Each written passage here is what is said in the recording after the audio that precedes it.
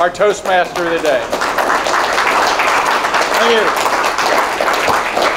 So speaking of ties, I love Carmelo's tie.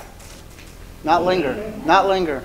So anybody who has a, a linger tie or not linger tie, the last Friday of each month we try to wear them. Let's give out some hardware.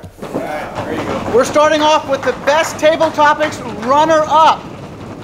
It will be Toastmaster Linda Miller. Linda Miller.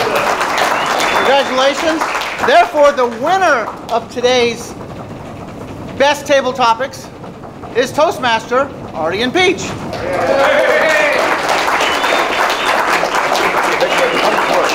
Like this. You hold that.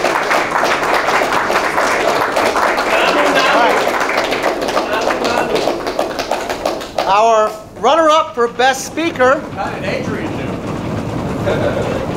Adrian did okay, but Artie did better. Our runner-up best speaker is Toastmaster CB the Ones, Carlos Benitez. Therefore, our best speaker, by default, and truly was perhaps the best speaker, is Toastmaster Benjamin Urrutia.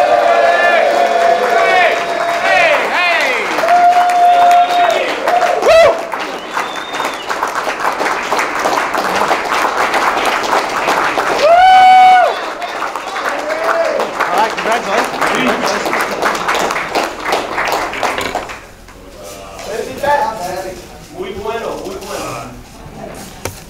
I am now going to return control of this beautiful lectern to my president and your president, Toastmaster Tim Taylor.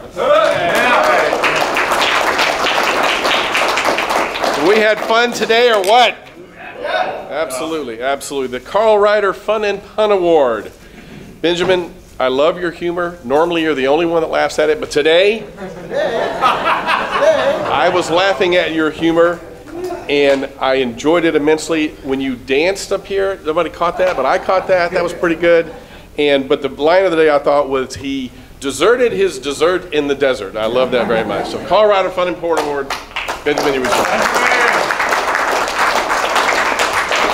All right, we have guests. So we our guests today are Lexi Adams.